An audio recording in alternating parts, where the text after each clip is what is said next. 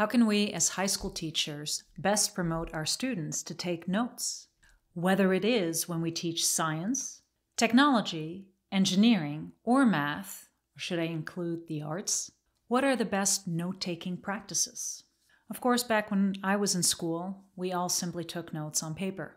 Perhaps we'd enhance our notes with colors or markers. Maybe we used sticky notes. But in this day and age, most of our students simply have a digital device. At our school, we have the Google Suite, so most of our students simply come to school with their Chromebook. And Chromebooks are compatible with Google Classroom. So you can see here my classes, two sections of chemistry, a section of AP Chemistry, a section of AP Biology, and I also teach two sections of Biology Lab. So this past summer, I was really thinking about what tools to use analog, paper, or digital, using Google Keep for my note taking strategies with my students. So you see here a screenshot of my son uh, who did a podcast with me in which I explained to him what my plan was for the upcoming school year. In this video, I will tell you about my experience with Google Keep in my classroom. And I will also go into the research what are the best note taking and then perhaps note making strategies for our high school students to get them better prepared for after high school when they might go into college. So you're seeing here some screenshots of notes that I've taken. These are all colored in green using Google Keep, and this is for my AP Biology class. If you'd like to get more help with how to exactly guide your students through the Google Keep note taking process, check out my video above, in which I go into great detail about this exact thing. The advantage of Google Keep is that you can simply add a color. So, different class, different color. This is for my biology lab. Another thing that you can do with Google Keep is that you can program it to have a note reappear at a later time, maybe with a quiz or a test in mind or some other assignment. Certain notes that are related to certain concepts, you can choose them to reappear at a given date. I do a lot of Pear Deck in my classes, which enables students to write on my slides. And then with Google Keep, they can simply insert a screenshot, say from Pear Deck, or any image from online and import it right into their Google Keep note. So here you're actually seeing such a screenshot but you can also see, enhanced in the circle, that you can add a collaborator to a note. So let's say a student is not present in your class. I, for example, had a student that was gone for an entire fall semester overseas, and one student that was in my class during that whole time was simply sharing all the chemistry notes with this student overseas. So the reason that I started with Google Keep is you can color enhance your notes you can share them. You can take screenshots and bring them right into the Google Keep note, and you can program them for a note to reappear at a later time.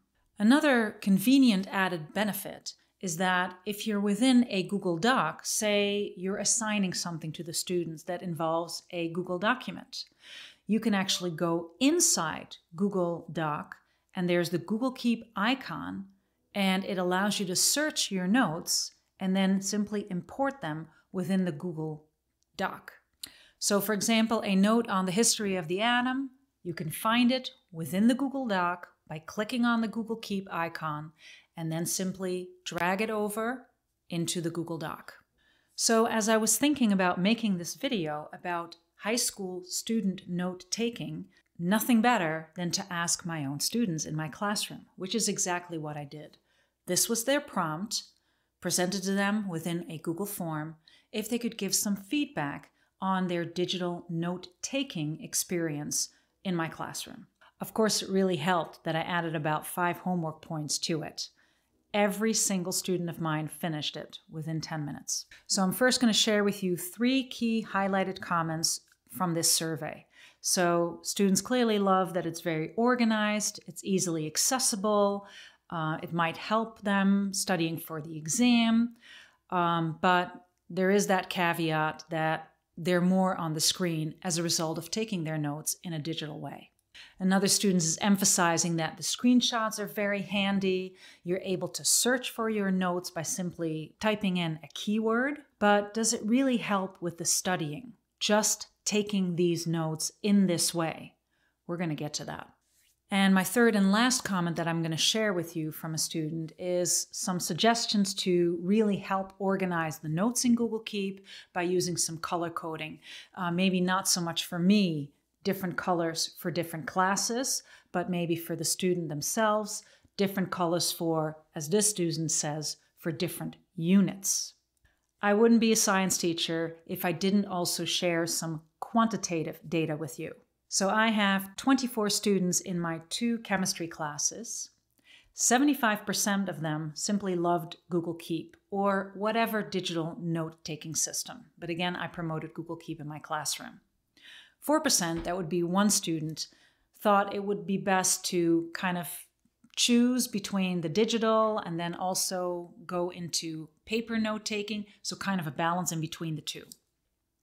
And five students of mine out of the 24, that would be 21%, absolutely did not like Google Keep, which is their full right. In this slide, I've added my nine AP chemistry students, and I've tallied them right along with the 24 chemistry students. 24 plus 9, that would be 33 students total. Again, I teach at a very small school. And now you see that the digital note taking favorability drops from 75 to 58%, still in the majority, and it's about a 50 50 in between for students that prefer to do both and for students that just want to do things on paper. The interesting thing that I'll share with you is that most of the responders that say they want to do it on paper, they're still using the computer, even though there's paper in my room and writing utensils. In summary, with respect to this survey, when it comes to digital note taking, organization is absolutely an advantage, according to the feedback that I've gotten from my students.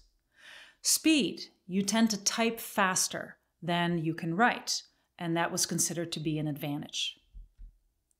Another advantage was storage. The notes are stored digitally. You can't lose it as easily as you might lose paper. And they really did like to be able to take screenshots from things that they've drawn on Pear Deck, for example, or images from the internet and bring it over into their notes, into their digital notes. My students responded the following as the advantage to taking notes on paper. You might memorize things better when you actually put pen to paper, when you're going the longhand way. You're definitely going to use less screen if you don't use a screen to take your notes. And one student thought, well, if I've got it right in my notebook, right in my backpack, I don't need to open and turn on my device. My notes are right there.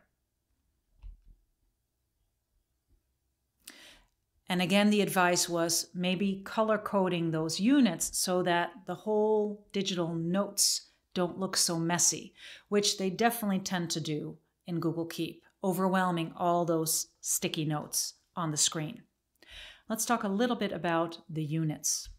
What you're seeing here is my Google Drive, and at the top you see my first folder, Storylines, and then the classical chemistry units from safety measurements and math, all the way to the atom, periodic table bonding, all the way to redox and engineering and design.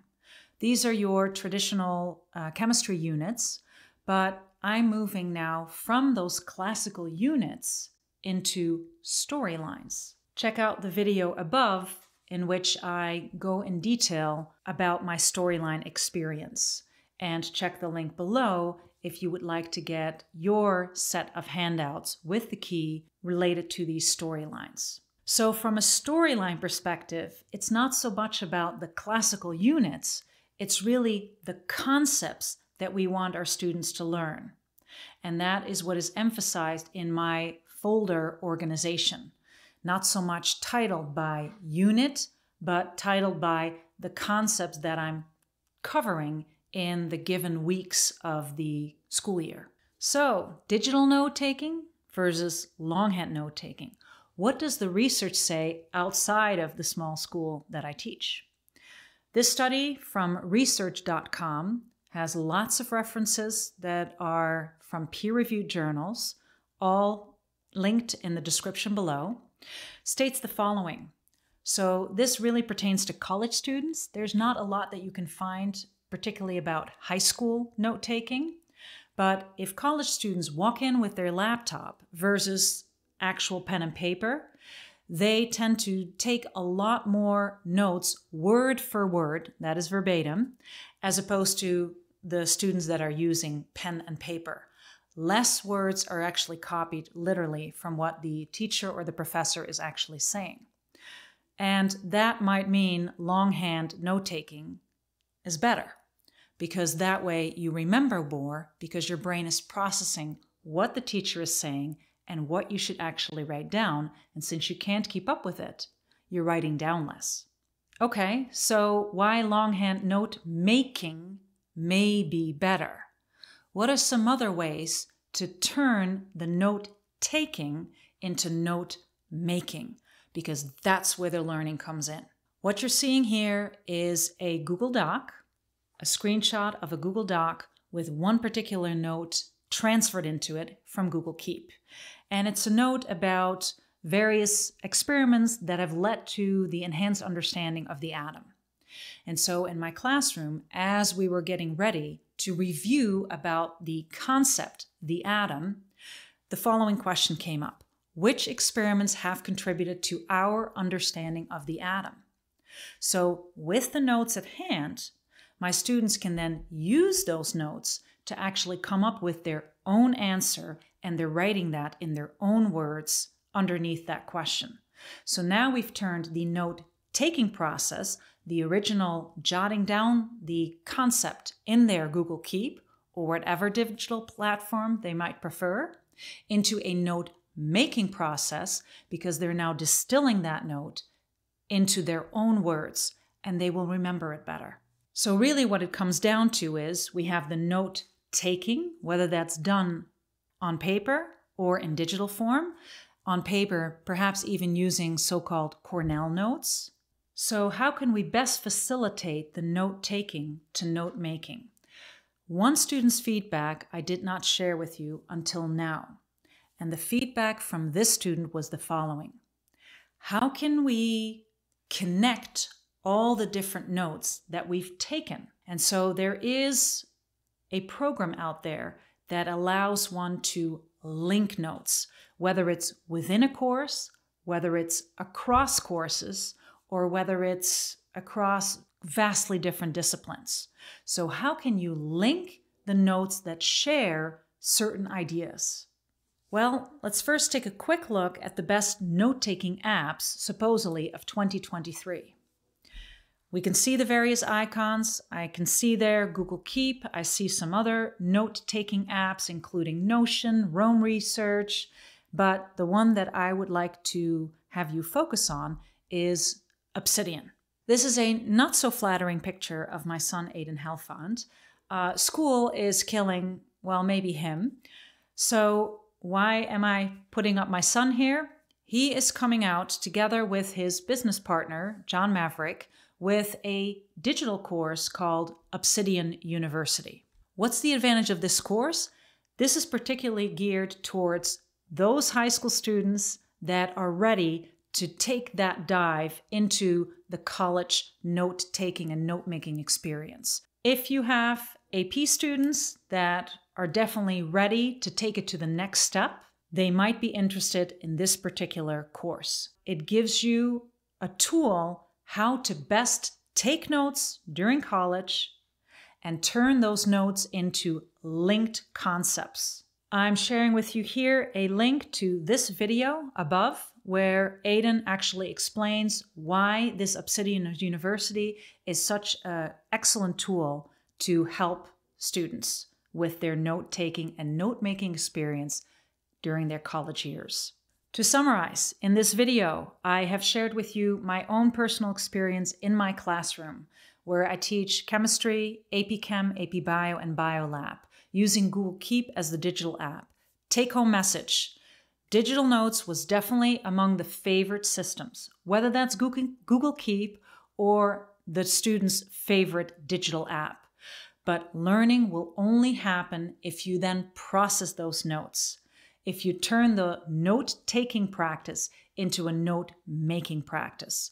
And then the next level up would be to actually link those notes across the different classes, across the different disciplines. I hope you learned something from this video that you might wish to apply with your students. Thank you so much for watching. Bedankt voor het kijken. Tot ziens and see you in the next video.